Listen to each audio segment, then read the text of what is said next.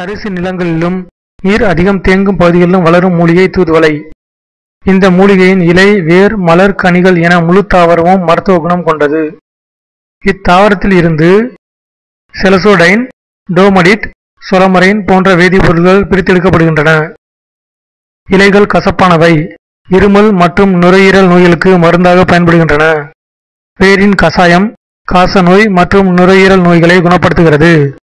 முழு தாவரமும் ஆஸ்துமா தொடர்ந்த மூச்சுக்குழல் அலர்ஜி இருமல் காய்ச்சல் மற்றும் குழந்தை பேறு மருத்துவத்தில் பயன்படுகிறது.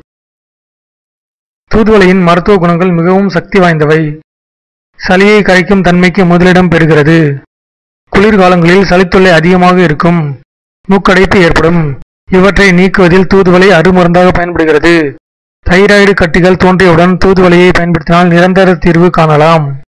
தூதுவளை இலையை சேகரித்து சுத்தம் செய்து பதினைந்து முதல் ஐம்பது கிராம் வரை எடுத்து ஊற வைத்து அரிசி சேர்த்து அரைத்து ரொட்டியாக தயாரித்து காலை உணவாக மூன்று ரொட்டிக்கு குறையாமல் இரண்டு மாதங்கள் சாப்பிட்டால் பூரண குணம் ஏற்படும்.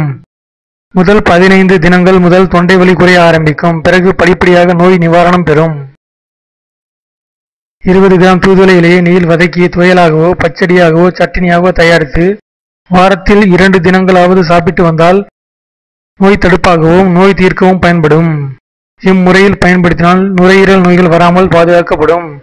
ஆஸ்துமா ஈசனோபிலியா நோய் வராமல் தடுப்பு மருந்தாகவும் வந்தபின் நோய் நீக்கவும் பயன்படுகிறது.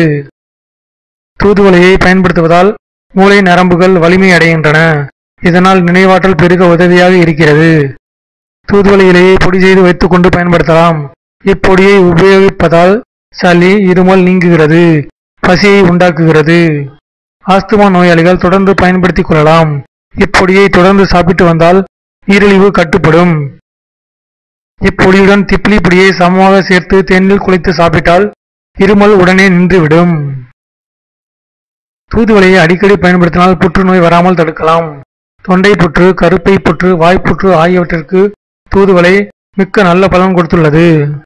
தொண்டை புற்று வாய்ப்புற்றுக்கு நல்ல மருந்தின ஆய்வுகள் மூலம் நிரூபிக்கப்பட்டுள்ளது. புகைப்பழக்கம் மதுப்பழக்கம் ஆகியவற்றால் ஏற்பட்ட புற்றுநோய்களை ஆரம்பத்திலே கண்டறிய நேரிட்டால் தூதுவளை இலையை பயன்படுத்தி சில மாதங்களிலேயே பூரண குணமடையலாம். தூதுவளை இலையை நெய்யில் வதக்கி துவையல் செய்து வாரத்தில் இரண்டு நாளாவது பயன்படுத்தினால் வாயுவை கண்டிக்கும். உடல் வலிமை ஏற்படும் மூலரோக பிணிகள் குறையும் தாம்பத்திய உறவு மேம்படும். தூதுவளை கீரையை சமையல் செய்து சாப்பிட்டு வந்தால் உடலுக்கு வலு கொடுப்பதுடன் ஆண்மை சக்தியும் அதிகரிக்கும். தூதுவளையில் கால்சியம் சத்து அதிகம் நிறைந்துள்ளதால் எலும்பையும் பற்களையும் பலப்படுத்தும். அதனால் தூதுவளை கீரையை பருப்புடன் சேர்த்து சமைத்து நெய் சேர்த்து நாற்பத்தி எட்டு நாட்கள் சாப்பிட்டு வர வேண்டும். இந்த வீடியோ பிடிச்சிருந்தால் லைக் பண்ணுங்க ஷேர் பண்ணுங்க. என்னோட சேனலை சப்ஸ்கிரைப் பண்ணுங்க. நன்றி.